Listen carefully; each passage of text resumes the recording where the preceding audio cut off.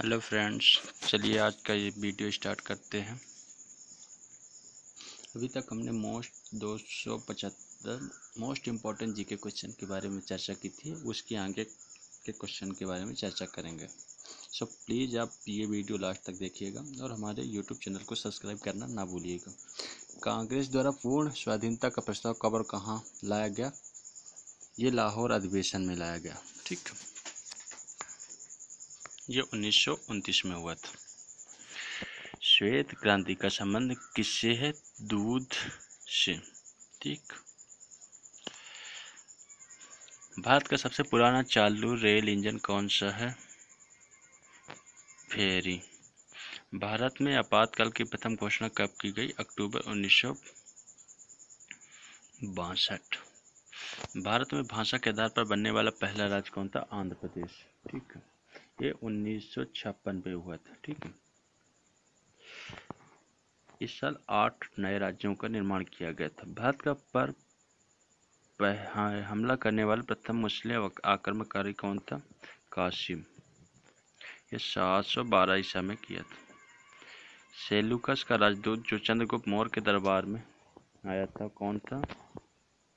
Manganese Sri Lanka का पुराना नाम क्या है? सिलोन विटामिन की खोज किसने की? फ्रॉन्क ने। फ्रॉन्क अब कंफ्यूज ना होइएगा। स्टेनलेस स्टील किसकी मिश्र धातु है? आयरन और क्रोमियम निकेल्स।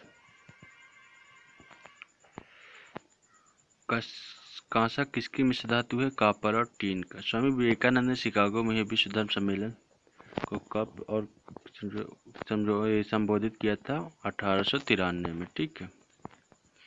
जलिया बाला बाग हत्याकांड कब हुआ था? 31 अप्रैल 1919 में, ठीक है। इसमें लाखों निर्दोष भारतीयों को मौत के घाट उतार दिया गया था। पृथ्वी पर उत्तरी गोलार्ध में सबसे बड़ा दिन कौन सा होता? बाईस इक्कीस मार्च का। महात्मा बुद्ध ने अपना पहला उपदेश कहाँ दिया था? सारनाथ। ठीक साइमन कमीशन के बहिष्कार के दौरान लाठीचार्ज में कौन से नेता की मृत्यु हो गई थी? लाला लाजपत राय की। भारत में निर्वाचित प्रथम कंप्यूटर का नाम का नाम क्या? सिद्धार्थ। गायत्री मंद का उल्लेख किस ग्रंथ में है? ऋग्वेद में। ठीक है। मानव शरीर का पाचन क्रिया अधिकतर किस अंग पे हो, में संपन्न होती है, छोटी आंत। आप ये न सोचिएगा, आपको ये क्लियर बता दें कि बड़ी आंत में पाचन जैसी कोई भी क्रिया नहीं होती है, आप याद रखिएगा ये।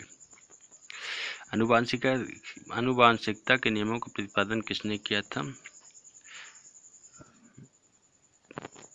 ग्रागोर ठीक है, मानव द्वारा सबसे पहले किस धातु का उपयोग किया गया?